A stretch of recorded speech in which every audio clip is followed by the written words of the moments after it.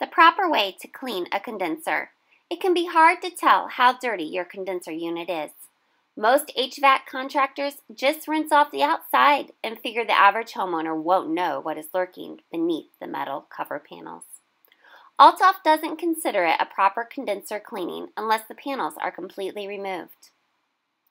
Cottonwood, dirt, and debris can significantly reduce heat transfer which affects efficiency and your air conditioner's ability to efficiently cool.